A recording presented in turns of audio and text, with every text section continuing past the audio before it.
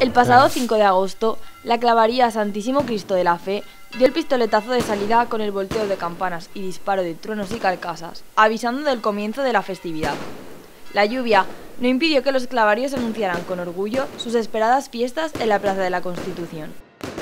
Pues bueno, hoy lo que hemos hecho aquí ha sido el aviso de la fiesta. Mañana es el día 6, el día más importante para nosotros, que celebramos la festividad del Santísimo Cristo de la Fe y haremos una despertad.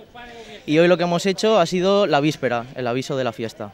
A continuación de este acto, el sábado 6 de agosto, a las 7 y media de la mañana, tuvo lugar la gran despertad, con disparo manual de miles de cohetes, tronadores y carcasas, en la Plaza de la Constitución.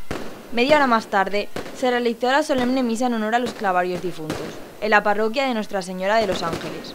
A la salida, no faltó el tradicional reparto de chocolate, con enseimadas en la puerta del casal de la clavaría.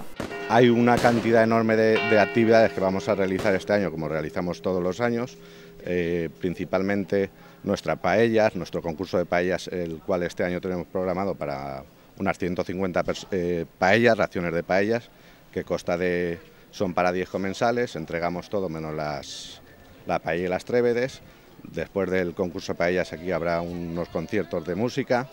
Luego también celebraremos eh, unos juegos acuáticos que costará de varios castillos, eh, una lanzadera de 40 metros, en, el cual están invitados todos los niños de este pueblo, porque también hacemos acto para la juventud, para los niños, para los mayores. Para los mayores vamos a celebrar en la Plaza Conde de Aranda una pequeña un musical que será para la gente adulta, con unos bailes, luego haremos una pequeña torrada allí. Las fiestas seguirán el 19 de agosto, donde habrá un traslado del Santísimo Cristo a la casa del escultor Miquel Navarro y una pasecha con motivo del 40 aniversario. Los días siguientes realizarán juegos infantiles y demás actividades de ocio para pequeños y mayores, de las que cada vez se encargan más los jóvenes clavarios. Pues desde hace unos años los jóvenes decidimos apuntarnos a la clavaría y la verdad es que nos gustaría que más gente del pueblo se animara y viniera a disfrutar de las fiestas patronales y trabajar por ellas, porque si no, esto no se mantiene.